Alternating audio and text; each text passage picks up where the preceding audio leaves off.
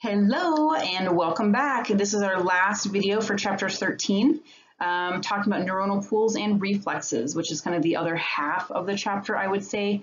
Um, so talking about anatomy of the spinal cord and distribution of nerves is kind of the first half. The second half is focused primarily on reflexes. Um, so before we get to reflexes, though, we need to take a look at what's called neuronal pools.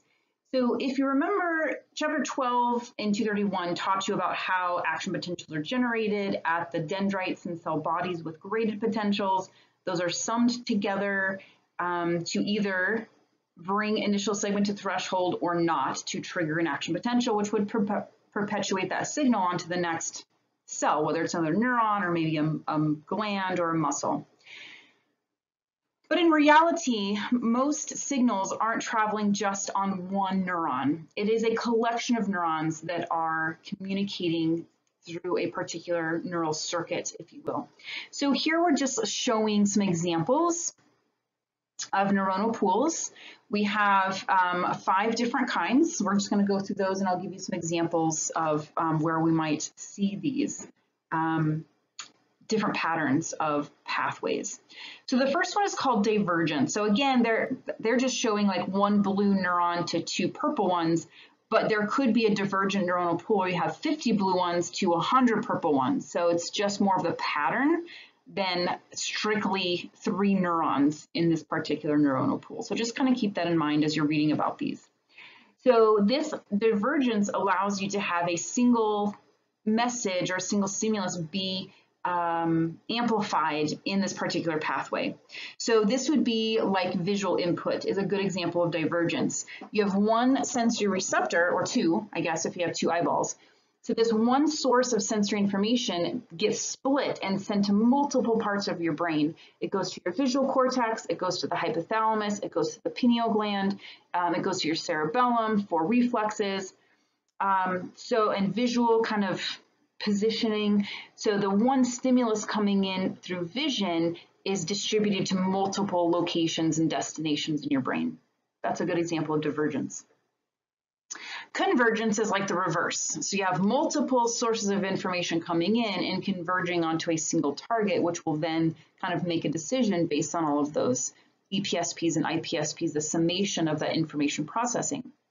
Um, a good example of this would be what um, goes to control your diaphragm. So if we have, say, two excitatory neurons, or let's say three excitatory neurons, and one inhibitory neuron coming in, that's a really bad negative sign. There we go. So we are going to have a higher chance that this postsynaptic cell is going to be brought to threshold and it will be excited. Um, but what if we had three inhibitory neurons? The likelihood that that postsynaptic cell is going to be um, activated is going to be reduced. So convergence is multiple signals coming in and sum summing on that postsynaptic neuron or postsynaptic pool of neurons to determine where that signal is going to be sent. So for example, for your diaphragm in the phrenic nerve, there's going to be neurons that when you inhale, you can't see my diaphragm, but your diaphragm contracts and it goes flat. This is inhalation. So goes flat and then exhalation, your diaphragm has to relax and it goes back up to dome shape. If we didn't have the inhibitory neurons to tell your diaphragm to relax, you would inhale.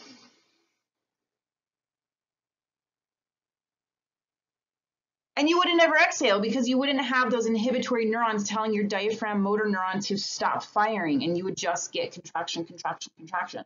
So for a diaphragm, we need alternating signals of contract, so excitation, excitation, excitation for contraction, and then we have to turn that motor neuron off. So inhibitory, inhibitory, inhibitory to say, don't send signals to the diaphragm so we can relax and push the air out. So that's a good example of convergence. Um, serial processing is probably just your what you normally think of as a pathway of neural uh, information. So one neuron fires, the next one receives a signal. If it's excitatory, it brings the neuron to threshold, it fires, it sends it. So it's just like a normal um, baton pass, right? So you're running and you pass the baton, and then they have the baton and they're running and then they pass the baton. So it's a linear pathway. Okay. The next one is called parallel processing, which is, if, if you look at it, it's kind of like a combination of divergence and serial processing. So you have, um, but it's kind of multiple divergence and serial processing happening at the same time. So you have um, similar pools processing information at the um, similar times. We're going to see this in our withdraw reflex example at the end of this video, um, showing that your stimulation comes in from whatever stimuli triggers your reflex, and at the same time you have information being processed in your one leg and then in your arms and in your pain centers in your brain. They're all processing the stimuli at the same time. That's parallel processing. Um, and then the last one is called reverberation. This is like a built-in positive feedback loop where we might have a stimuli starting with the blue neuron, fires the purple neuron, fires the pink neuron. Okay, that's one particular path. And with the firing of that purple neuron, it's got a collateral which branches off and stimulates its stimulator. So by the act of triggering this reverberating pool, the blue neuron stimulates a purple neuron, which stimulates a blue neuron, which stimulates a purple neuron, which stimulates a blue neuron, which stimulates a purple neuron, and you get stuck in this positive feedback loop. And it will continue this loop plus be stimulating the pink neuron every time it fires to go off and do something else. And the only time that this whole pathway will be stopped is if we block that blue neuron from firing. If we have some inhibitory message coming in and blocking the blue neuron, then it's not going to fire the purple neuron and the purple neuron will not continue stimulating the blue neuron. A good example of reverberating circuits is a very complex example, and just one part of it is your day-night rhythms. They're also called circadian rhythms. Consciousness. So we have a positive feedback reverberating circuit keeping us awake during the daytime, and then we get external stimuli, the sun's going down, um, we're feeling fatigued, all of these other, the, the day, the hour, our bodies can kind of recognize it with these internal clocks. Um, that's going to come in and block that reverberating circuit of keeping us conscious to allow us to go into an unconscious state and then we'll be in a reverberating circuit of maintaining unconsciousness while we sleep. And then a signal is going to come in and break that reverberating circuit, which would be like your alarm clock or your cat or, you know, whatever wakes you up in the morning is going to be breaking that sleep unconscious reverberating circuit and something else will get you started back into that conscious reverberating circuit. All right, so that's what we call neuronal pools, just these different patterns of how messages are sent via neurons. Okay. All right, so now we're going to take a look at reflexes. So reflexes are the simplest type of motor command. So there is no conscious processing of basics. Well, let me take that back. There can be some reflexes that are learned, what we call learned reflexes, but absent of learned reflexes, there is no conscious processing. It is a built-in, hardwired, stereotypical here's a stimulus, here's the response. And every time you give that stimulus, you're going to get that response. And so that's kind of how you can think of reflexes. There are five parts to a reflex arc. We have them numbered here. So the first thing is the arrival of a stimulus. Okay, it's going to activate the receptor. So in this case, it looks like it's a pain receptor because he's putting his hand down on attack. Yikes. Could be heat. Um, it could be, you know, a, a, a particular type of it could be a whacking of a tendon. We'll see that in our knee-jerk reaction. Step two is activation of the sensory neuron. So we activate this, the receptor, sending an action potential. So that's kind of step two, sending that sensory neuron through our sensory pathways. There's our dorsal uh, root ganglion with the cell body of the unipolar neuron. There's our dorsal root um, going into, in this case, it would be somatic sensory, going into our dorsal root horn sorry, a dorsal gray horn. Um, and in this case, there is an interneuron, that's the white cell, um, but there doesn't always have to be. And so step three is what we call information processing between the sensory and the motor. Okay, so sensory information coming in, activating the, the receptor, activating the neuron, processing in the central nervous system, either brain or spinal cord. They're showing spinal cord here, but it could be either location.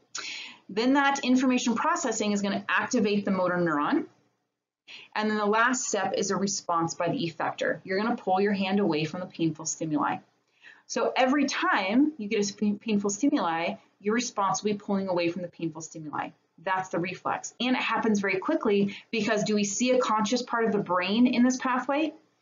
We see a collateral going up to tell your brain that there's pain, But by the time the signal has gone to your brain and you're processing that it's pain, your hand has already moved away from the painful stimuli. So you may have experienced this before, like especially touching like a hot pan.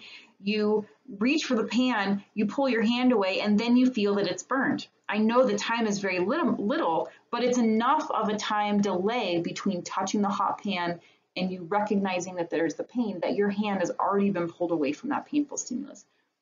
And that's why reflexes are so important. They are built-in stereotypical responses to keep your body safe. If we had to think about and process every stimuli that came in before we could do a reaction, our bodies would be a lot more wore out and damaged and potentially irreversibly damaged by um, these damaging stimuli if we had to process all of that information. So thank you, reflexes, for freeing up some of our processing um, space in our cerebrum so we don't have to think about it. It's already kind of built in. So those are the five steps of a reflex arc. Of the reflexes that we could have, they are categorized or classified by these four um, options, I guess, or characteristics. So the first one is by development. Okay, are these reflexes that are built in as you being a human? So these are called innate. So innate reflexes, they're genetically or developmentally determined. You have them because you are human, since this is human anatomy physiology. Or are they learned over time? So the best example of learned reflexes that I think most people are familiar with is driving, right? You are not born knowing how to drive a car. You do not have a reflex of how to operate a car. But as you learn to drive a car and you get more experiences, you have these built-in reflexes. So you're driving along and you see the, the light change from green to yellow. So you step on the gas. No, wait, that's the wrong reflex. Sorry. So you slow down because you see that stimuli of the light changing. You have to process that and then make a decision. Now, sometimes it means stepping on the gas because you're already halfway through the intersection or coming close to it that slamming on your brakes would be dangerous because somebody could rear end you. That's the learned part. Learned reflexes take more time because they have to have a processing uh, take place. Innate reflexes are like that spinal reflex we just looked at of the withdrawal from the pain. We can classify reflexes by their response. What type of effector is doing the activity? If it's skeletal muscle, it's called somatic. We should be making that connection really good now. Somatic means skeletal and conscious. If it's visceral or autonomic, it's going to be smooth muscle, cardiac muscle, or glands. Yes, we do have reflexes in our heart. We do have reflexes in smooth muscle. We do have reflexes in our glands. We just don't have control over those because we do not control smooth muscle, cardiac muscle, and glands, but they do have reflective behaviors. We can also classify reflexes by their complexity of circuit, how many neurons are involved. We have the most simplest are called monosynaptic. There we go. My computer's kind of taking a little bit of pause here. So monosynaptic or polysynaptic is two or more, up to 100 or so synapses between the sensory and the motor, right? So a sensory directly onto motor, this is a monosynaptic. If there's any kind of interneuron, you're gonna have two or more synapses. And we'll see some examples of those later. And then lastly, the processing site. Is that information processing, that step three of the reflex arc, is it taking place in the spinal cord? It's called a spinal reflex. If it's taking place in the brain, it's called a cranial reflex. Kind of makes sense, right? So any reflex you have, you should be able to describe it in these four categories. So the, probably the most well-known by the lay population um, is your the knee-jerk reaction. So it's called the patellar reflex, right? So it's when, I know you can't see it, you'll do this in lab, but when you whack your knee and your leg kicks out, right? So this is the patellar reflex. I can classify this, it is an innate reflex because you're born with it. You don't have to think about your knee-jerk reaction. It is a somatic reflex because it is skeletal muscle that is doing the activity. It is a monosynaptic reflex, and you'll see that here in a little bit, and it is a spinal reflex. So we could say our patellar reflex is a spinal monosynaptic somatic innate reflex. Whew, that's a mouthful. All right, so let's take a look at some examples of these reflexes. Here you go. Here is our um, knee-jerk reaction. So it's called a stretch reflex. And it is a stretch reflex because a stimulus is a stretched muscle. It is a stretched muscle, and the reflex is to protect against overstretching. So in this um, reaction, the stimulus is you're whacking your patellar tendon. And if you remember, your patellar tendon is connected to your patella, but it also is connecting to your rectus femoris. And all of your vastus muscles all connect to the patellar, to the tibial tuberosity via the patellar tendon. So if you whack on that, it's going to stretch those muscles a little bit. And to counter the potential damage of overstretching, we are going to contract the muscles around that receptor to um, prevent overstretch. So what's going to happen when you contract your um, quad muscles, your rectus femoris and all your vastus? Well, your response is your leg's going to kick out. Okay? And if we take a look at a reflex arc, here's a receptor, step one, here's a sensory neuron, step two, here's our integration center, step three, here's our motor neuron, step four, and here's the effector, step five. So all five components of the reflex arc are there. And if you'll notice, we just called this a monosynaptic reflex because the sensory synapses directly onto the motor. You still have information processing, but it's information processing directly from sensory to motor. There is no interneuron in this particular reflex. Okay, so that is our monosynaptic reflex. We're going to take a closer look at this reflex because it's kind of a very cool, interesting receptor that is involved. We have what's called a muscle spindle. The muscle spindle is made up of what we call intrafusal muscle fibers. Okay, they're kind of smaller, more petite muscle fibers compared to your regular old skeletal muscle fibers, which are called extrafusal. And then there's a sensory region that is innervated, kind of wrapped around. You can kind of see the coiling here. That is the sensory receptor of that stretch response. So this goes to the um, CNS, basically the spinal cord that we just saw. That's the sensory receptor, and that's a sensory neuron. So step one, step two okay? Um, so here's the thing. Let me see if I can. I usually do this in lecture, but have lecture. So let's say I am stretching my quad like this, right? I'm stretching it. I'm stretching my quad way more than what would ever happen by me just tapping on my knee, right? So I'm tapping on my knee, I'm thinking about it, so I can't really trigger my reflex. But that's not very much pull. So how come I, my leg is not trying to kick away from my stretch quad? Because I'm stretching it way more than that patellar tap would do. So what's going on? Well, what's going on is when I'm consciously thinking about stretching my muscle, there are these what are called gamma efferents. You can see those on the diagram. They are maintaining the sensitivity of that sensory region in the intrafusal muscle fibers. So if somebody were to come and whack my knee in the stretched position, I still have sensitivity to that and I could still trigger the reflex, even though my leg muscle is already stretched. So these gamma efferents, let's back here. So these guys, the gamma efferents, are there to, they're coming from the conscious part of my brain saying, okay, so Corrie is stretching her quadricep. Let's adjust these intrafusal muscle fibers to maintain the sensitivity of that sensory region. So when the muscle is stretched on purpose, I'm not going to trigger the reflex.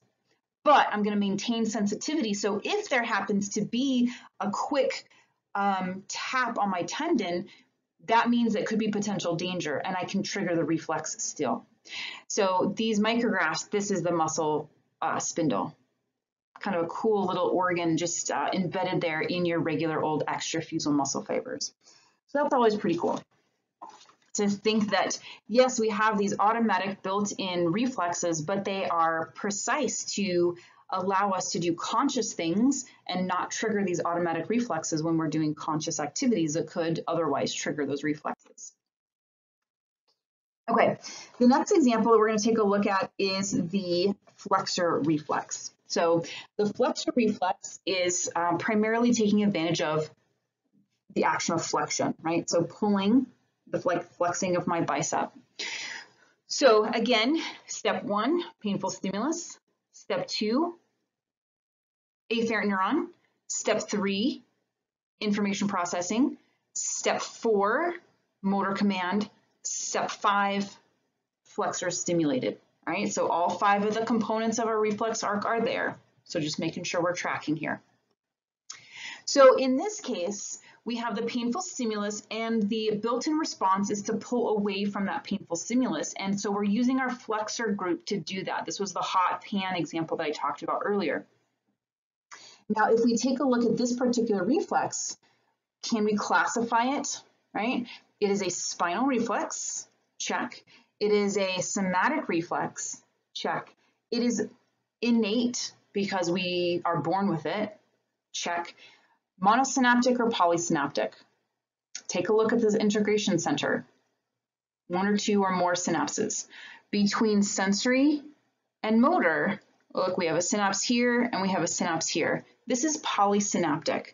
So this is a polysynaptic reflex because it's got an interneuron. And that's an easy way to tell. Plus it has some other fun stuff we're gonna take a look at. so in just the pathway itself, right? So here we have our stimulus, here we have our afferent pathway, our integration, efferent pathway, your hand pulls away from the hot pan, okay? But knowing what we know about muscles and that we have our antagonistic groups, if I'm gonna be contracting my flexor, what am I doing to my extender? I'm stretching it, right? Do you think there's stretch receptors or stretch reflexes associated with my triceps? Well, yeah. So if I'm quickly flexing my flexor, I'm going to be stretching my extender. And I don't want to trigger the reflex back here. So we have to have a way to quiet this down, just like those gamma efferents quieted down my muscles when I was doing the, the patellar reflex. so in this pathway, we have this um, these other inhibitory neurons here, kind of the dotted lines ones. So while our flexors are being stimulated, our extensors are being inhibited. And what that does is if I'm quickly pulling away with my flexor, I'm not going to trigger a stretch reflex down here because of this. And this is what we call reciprocal inhibition. So you should see that in your notes or in the book somewhere. So reciprocal inhibition. And we usually are going to see that a lot when we see these kind of pulling away, withdraw, or flexor reflexes because of that way that our body is organized with those opposing muscle groups. We have a flexor on one side and extender on the other. If we're going to flex one, we're going to stretch the other. If we're going to flex that one, we're going to stretch the other. So we've got to protect those um, antagonistic muscles from triggering a reflex in that muscle, the unused muscle, in this case, the uh, extenders, which would be your tricep. Okay, so let's take a look at the crossed extensor reflex, which is probably the most complex reflex we're going to take a look at. This was that parallel processing that we talked about in neuronal pools. So again, let's identify our components of the reflex arc. Here's step one, here's step two, here's step three, here's step four, here's step five. Okay, so we've got all five component parts identified in this diagram. So now we can kind of know what we're talking about. So in this case, we have a couple different things that are happening. The response is a little bit more complex and it's called cross extensor because we have stimulus coming in on one side and we have response going out on both sides. So the information has to cross the spinal cord, usually at what are called the commissures. Um, there's gray and white commissures, in this case, the gray commissure anterior to the central canal. This area right here is called the commissure. So as this information is coming in, so imagine you know you're walking down the hallway, you step on a tack or a Lego or you know something sharp, and un, unbeknownst to you, it's in the hallway. and it hurts. So what's your original response or your, your response to this painful stimuli is to withdraw, right? To pull your leg up. But if you're standing on the earth, there's gravity and you can't pull pull of your feet up because then you'll fall over. And if you don't stabilize a leg that didn't stay up on the tack um, and get engage that leg, then you're going to fall over. And we don't want to damage our body any more than is already being damaged by stepping on the tack. So we have to do a lot of things to make sure that we don't fall over after stepping on this tack. So let's just follow the first side, the same side stimulus. So this is this person's right leg um, stepping on the tack. That's going to go, let's get the, my color here. So we're stepping on the tack, integration center, and now we want to pull away. So we need to do a flexor response. And flexors of the knee are your hamstrings, right? So that's these guys right here. So flexors are going to pull up. Now, what did we just talk about with our flexors here? We got to quiet our extensors. So here is our reciprocal inhibition turning off our extensors. So in the leg that's pulling up, we are flexing to pull away from the pain and we are quieting the extensors with reciprocal inhibition. Now, what about the other leg that's got to keep you stable on the floor or on the ground so you don't fall over? Well, that's going to cross the commissure here. And for straightening the leg and making it stable, we have to contract the extensors. So the extensors are now going to be contracting, but at the same time, we have to quiet those flexors so we don't trigger a reflex there right? So that all that's happening in our leg section of our spinal cord. But then as you'll notice, we have all of this information also coming up to ascending tracts. So these interneurons are gonna be sending information up. So when you step on a tack and you're pulling up on one leg and like standing on the other, you might be like waving your arms to catch your balance. That's that parallel processing of this one bit of information coming in and we're processing it simultaneously. and then eventually the pain signal will reach your brain and then you can respond verbally um, to the pain that you are feeling. Alrighty. There is a word, a couple words that go along with this uh, stimulus and response on the same side and the different side. So in your notes, you'll see this. It's also in the reflexes lab. Ipsilateral means the stimulus and response are on the same side. Contralateral is a stimulus and response are on opposite sides. So because the stimulus is on that guy's right foot and he has a response of straightening on the left leg, that is a contralateral response. So contralateral when it crosses over to the opposite side. So if you, you know, get a stimulus here and you have a response on the other side, that would be an example of a contralateral response. Okay. All right, so that wraps up our discussion on reflexes.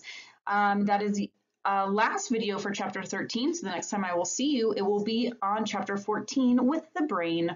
See you later. Bye.